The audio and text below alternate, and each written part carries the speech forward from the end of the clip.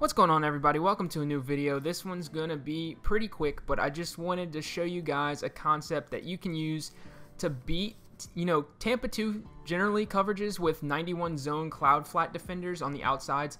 91 zone cloud flats, they just do a great job of covering everything uh, between they'll, they'll sink back and guard the corner routes and then obviously against cloud flats you're supposed to hit the flat routes but then they break so quickly even if you throw it to the flats you usually only get like one or two yards. So a lot of people have a lot of trouble moving the ball against them and so this concept is going to be fantastic for beating 91 zone cloud flat defenders. Now this concept I'm using is out of gun bunch corner strike on the right side of the screen, you can see every single playbook that has gun bunch corner strike. This concept can carry over to other playbooks and formations. You just need a formation that has a nice shallow corner route like you see right there from Keenan Allen. Some corner routes aren't as shallow as you can see right here. Uh, this is from Gun Bunch Mesh. You can see how much deeper that corner route is. You can still throw that, but it's a little bit more sketchy and it just doesn't quite work as well. The sharper the break, the better in my opinion. Um, but you can do this out of any formation that has a corner route like that, along with the fact that you need to be able to motion that receiver outside. So he has to be off the line of scrimmage, and you have to be able to snap it, you know, while he's motioning. So what you're going to see here, I'm in nickel normal Tampa 2. Go ahead and show you the concept. With the cloud flat on the outside, these are the Seahawks rosters. I have Richard Sherman out there, uh, but they've been altered to where everybody in the secondary has 91 zone. So that is a 91 zone Richard Sherman.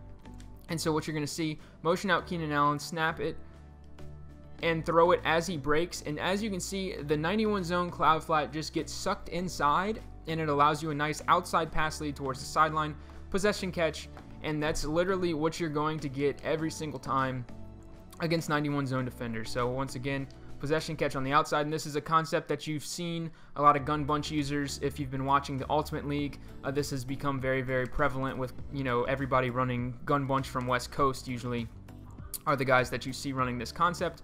Um, but as you can see, three times in a row, and you're going to get that every single time against 91 zone cloud flats. Doesn't matter.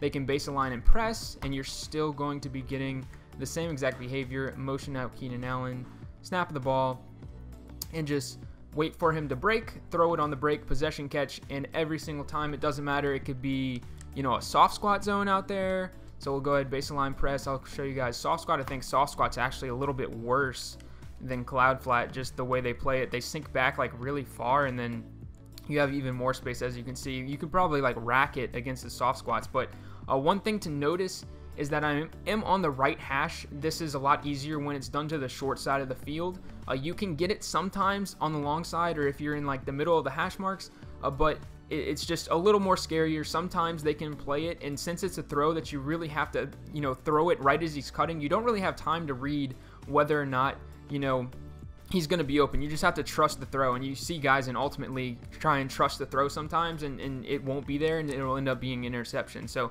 it's just something uh, to go ahead and keep in mind. I'll go ahead and show you guys right here. I think the one thing I haven't shown you is a soft squat that's not pressed, and so we'll go ahead and show you the soft squat not pressed, but you'll see the same exact thing, Keenan Allen on the motion out. And see how you even have even more room with the soft squat. So soft squat, pressed or not pressed, and cloud flat, pressed or not pressed all going to be torched to the outside by this concept. Alright, so now defensively, I'm going to show you guys a concept that you can use to defend against this route combo. And there's several ways you can defend against it, but the way I like to do it is you sub in a player with under 91 zone into that cloud flat spot. So in this case, I subbed in Shaquill Griffin on these regs rosters. His zone's in the 70s. And so what you're going to see is that that 90 and below zone defender doesn't get sucked in quite like the cloud flat. Now, the 91 zone. And so one thing to note is that just subbing him in isn't really enough. So what you're going to see, 90 and below zone defenders are kind of so bad. Like you can still throw this route and have a possession catch right there. Keenan Allen dropped it. So he plays it a lot better, right? But you can still throw that route. Like offensively, that's still something uh, that you will be able to throw if you go ahead, snap the ball, throw. See how he, he sinks back so far. So that's the 90 and below zone. It's just kind of bad. So what I like to do is baseline press, and I actually like to go with a soft squat. So I talked about how soft squats were awful with 91 zone against this concept, but with the 90 and below zone, I just think the soft squat plays it a little bit better. You want him to press up on the line of scrimmage, in my opinion, because you want him to be as low as possible, and you don't want him to sink back so far that they can throw that corner route in front of them.